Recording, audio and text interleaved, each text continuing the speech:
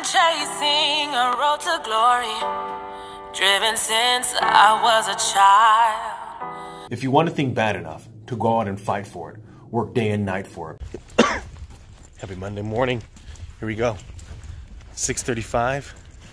Turn off. Team meeting at nine.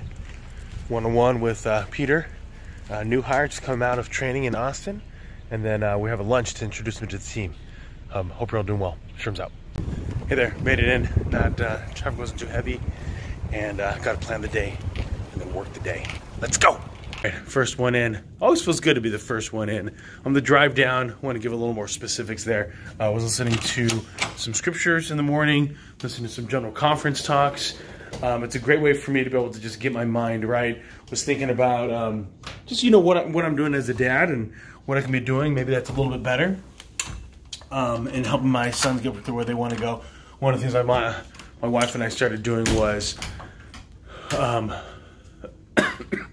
excuse me, on their birthdays we have some birthday questions. You know, some of it's like favorite teacher, favorite colors, things like that. But uh, we start getting to depth of um, what do you want to be when you grow up. And so when they're young, like we started when uh, like a couple years ago, um, when when he turned seven, the youngest Gavin, you know what he's answering is much different than Ryan this year, who's 14, who's given a little more context. So it's kind of a, a fun thing, and being able to just, you know, as a, in the drive down, just thinking a little about what I'm doing and, and helping the boys get better and, and, and us and family continue to draw closer. So, um, yeah, it was, it, was, it was, a good drive down. Got to do the podcast, going to get set up for the day.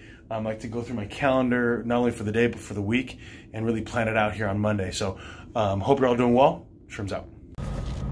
Hey there, everybody. Happy Monday. Hope you're doing great. Um, was able to have a productive day um, after getting to the office, having a team meeting.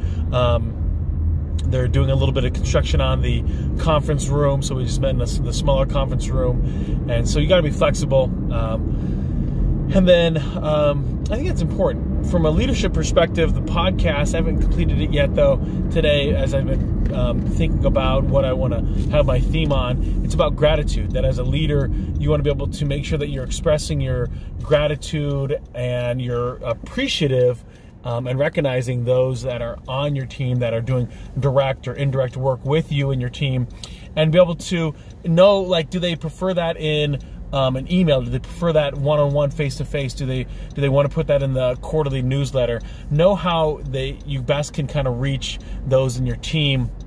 After that, then had new hire lunch. I was able to introduce Peter to the rest of the team, and so that was nice. We met over at uh, La Madeleine's uh, for lunch, and then after that, um, was able to have an interview uh, person was okay prepared. They had gone to the long, wrong location, so and then they asked questions. They seemed like they were so focused on asking questions they didn't actually listen to the answers because uh, we ended up repeating ourselves a couple times. Then I have conference call at three, and then an, um, a client meeting. So potentially you might want to work with us.